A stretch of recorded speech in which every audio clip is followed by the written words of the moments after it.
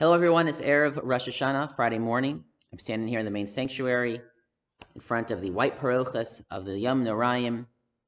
The year 5780 is closing. The year 5781 will be beginning tonight. Before sharing with you a few brief thoughts, I just want to first thank the many people who have worked very hard to prepare and execute Rosh Hashanah at Young Israel this year. And God willing, we'll have a safe and successful and meaningful Rosh Hashanah. I first and foremost want to thank Carol, who has worked extremely hard and very long hours the last number of weeks, and we would not have been able to function uh, without her, as always. I want to thank the Gabayim for working very hard in the davenings this year, the High Holiday Committee, who also put in many late hours planning and worrying about even the smallest detail.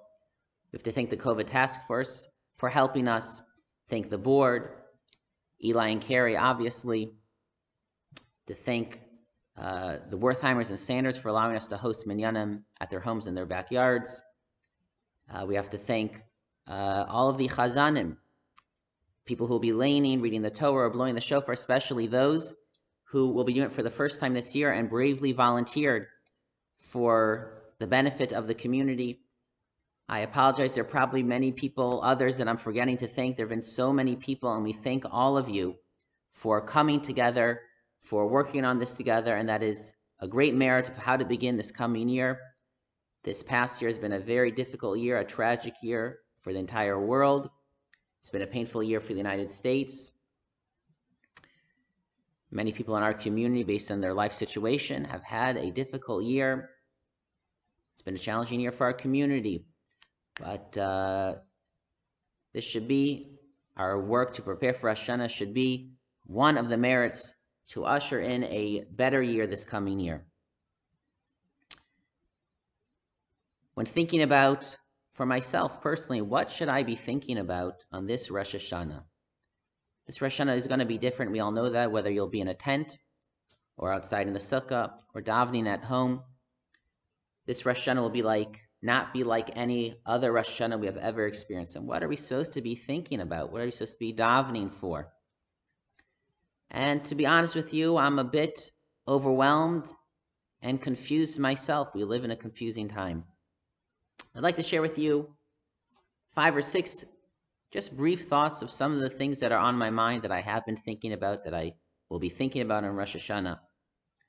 And uh, hopefully they will add to your tefillos and be of value for you. The last pasuk in the book of Tehillim is called Haneshama Tahalel Yahalyam. Let every soul praise the Lord. The Medrash comments so do not read it as Kol Neshama, every soul, but Kol Neshima Neshima. With every breath, we must thank the Lord. Every breath that we take is a gift from Hashem and cannot be taken for granted. Those were words, but we now feel them. We should feel them and realize how true that is after this year more so than ever. This year, it was the breath of life that was attacked, that was taken from thousands, ten thousands, hundreds of thousands. The shofar is the, the breath of life that a person blows back to God. This year, we should take a moment to realize and recognize if we are alive, if we are standing here, then we have what to thank Hashem that we survived this year. If all of our loved ones and family members did so, all the more so.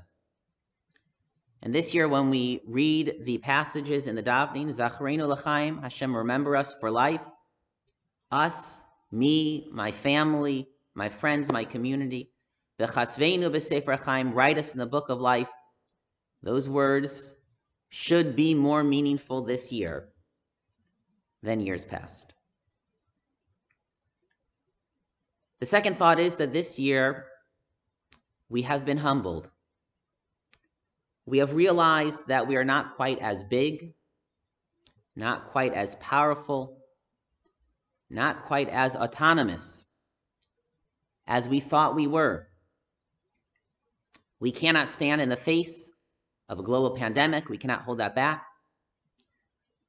Our livelihoods are dependent on economic forces that are larger than us, no matter how talented or smart that we are.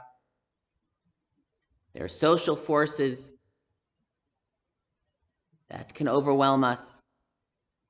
we come on this Rosh Hashanah feeling a little bit smaller, a little bit more bent over, maybe a little bit weaker. But that is not necessarily a bad thing when standing before Hashem. But on Rosh Hashanah, we fill that void, if there's a certain void in us, not with fear or anxiety or depression, but we can fill that same void, that same space. If we have shrunk and there's this empty space, we can fill that with faith in Hashem, with trust in Hashem, with our belief in God.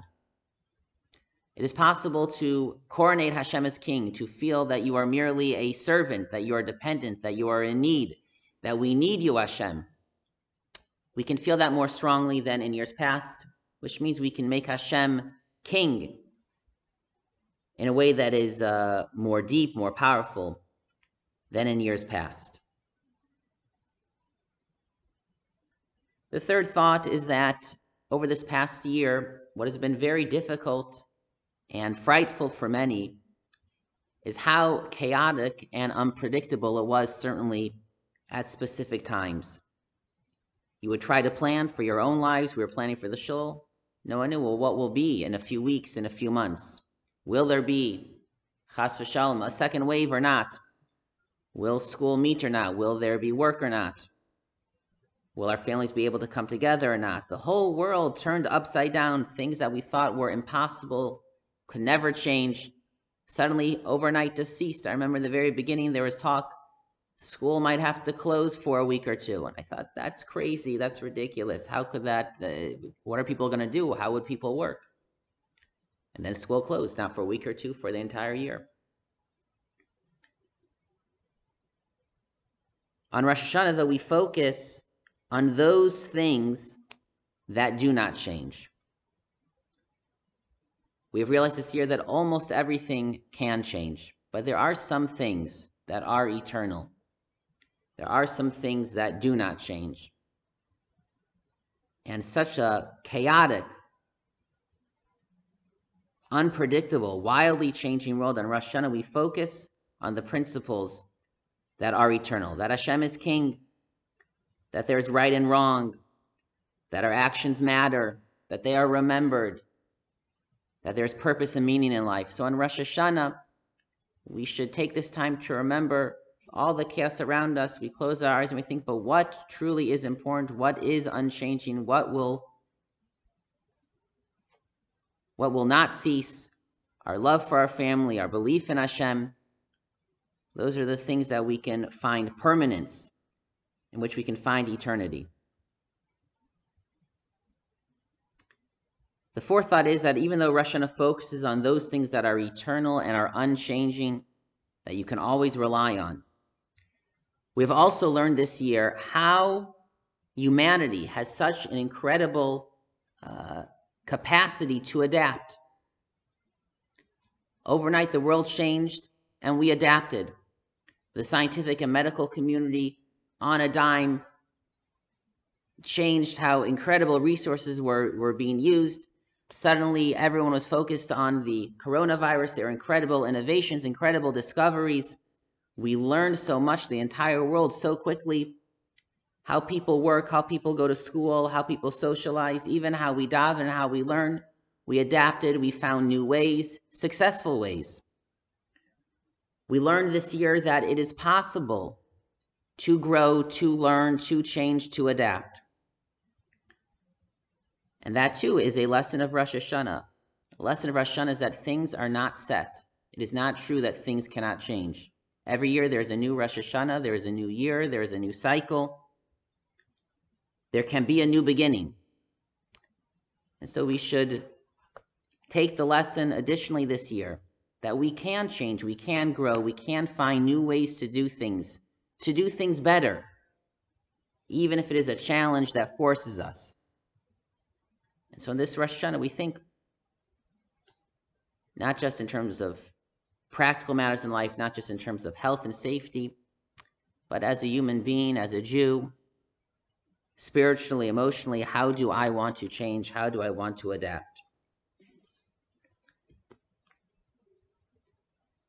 The fifth lesson, the fifth idea, is that we have learned this year that we are in this together. We cannot think about just ourselves, and this year we will not be davening just for ourselves. It is a global pandemic. We are davening for them to find uh, a therapy um, uh, for the entire world.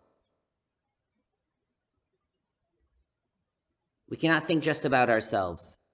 And the truth is, on Rosh Hashanah, we daven for the entire world. We daven for a vaccine for the entire world. But on a regular year, even, on Rosh Hashanah, we daven Maloch al kol kulo bichvodecha. Hashem, reveal yourself to the entire world. To, to uh, fix, to improve, to uplift the entire world.